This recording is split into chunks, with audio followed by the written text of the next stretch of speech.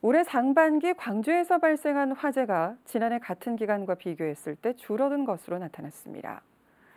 광주시 소방안전본부가 통계를 분석한 결과에 따르면 올해 1월부터 6월까지 화재 건수는 389건으로 지난해보다 14.8% 감소했으며 전체 화재의 41%는 음식점과 산업시설 등 비주거 시설에서 발생했습니다.